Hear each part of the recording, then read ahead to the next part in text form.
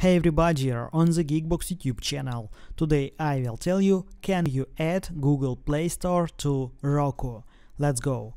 Roku has its own app store. What should I do if you need to Google Play Store? The most correct way is to buy a Google Chromecast with Google TV or any streaming device with Android TV or Google TV. Connect your Android or Google TV device to your TV via HDMI and you will have the Play Store. I will leave a link to Chromecast in the description. Is there any way without it? Yes, but it will be gratis.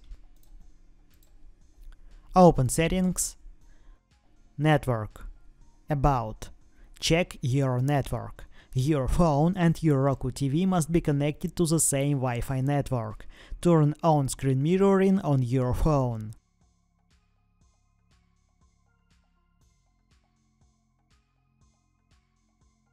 Open Google Play Store.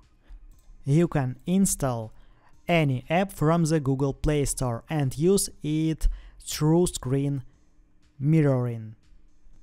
That's it. Now you know can you add Google Play Store to Roku. Thanks for watching, please like and subscribe to the channel. Good luck and see you soon.